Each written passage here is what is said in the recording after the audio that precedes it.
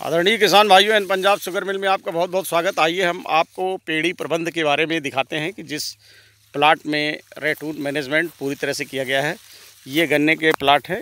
इसका आप देखिए जो है, ये श्री जितेंद्र सिंह रघुवंशी, ग्राम धमनिया ये जो है, गन्ना सी ओ बी आठ हज़ार पाँच है। पूरी तरह से इसमें इसमें रेटून मैनेजर भी चला है। पेड़ी प्रबंध में इसमें रेटून मैनेजर चलाया गया है, जिसको आप स्ट्रेबल सेवर कहते हैं।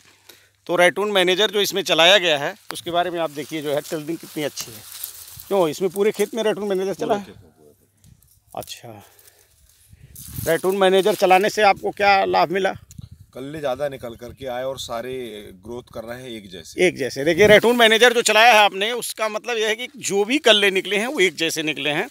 और एक जैसी कल्ले की मोटाई है और एक जैसा इसमें देखिए जो है टीलर्स इसके जो भी हैं बिल्कुल एक जैसे निकले।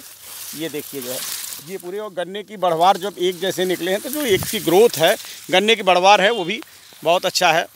और इसमें आपने खाद में क्या क्या डाला? खाद में डीएपी सुपर हाँ। Potash urea.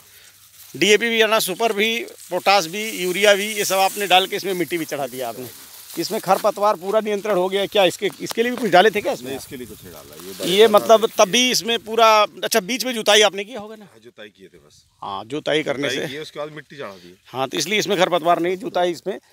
दो तीन बार अगर खेत में जुताई कर दिया जाए तो ऐसे भी खरपतवार नहीं होते हैं।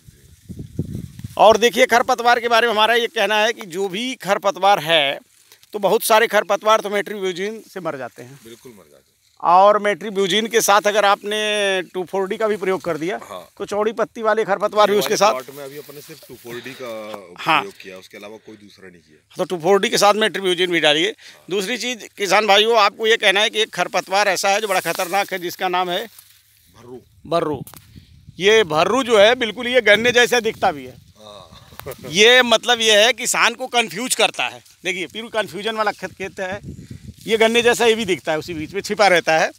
तो इसको आप चोर है, पूरा खरपतवार, चोर खरपतवार भी इसके आप कह सकते हैं, पूरी तरह से चोर की तरह इसी गड्ढे के बीच में छिपा रहता है। ऐसा खरपतवार, ये किसी भी हार्विट साइड से पूरी तरह नहीं मरता। बिल्कुल नहीं। अगर ऊपर की पत्ती भी मर गई तो बीच में इसका जड़ नीचे रहता है और फिर इसमें टेलरिंग्स हो जाते हैं। और ये फ़सलों से कंपटीशन बहुत तगड़ी से करता है।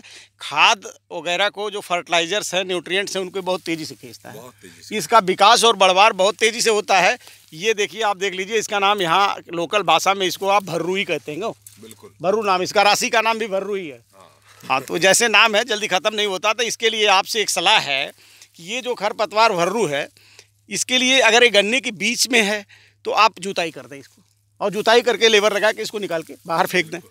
अगर गन्ने के आसपास है जहाँ पे हल आप नहीं चला सकते हैं तो वहाँ पे इसको आप पानी चलाइए और लेबर लगा करके इसको छोटी कुदाल से खोद के निकाल दें। क्यों जितेंद्र बाबू? जी बिल्कुल। इससे ये पूरी तरह से नष्ट हो जाएगा। और क्योंकि ये नॉन सेलेक्टिव हर्बिसाइड से ही मरता है।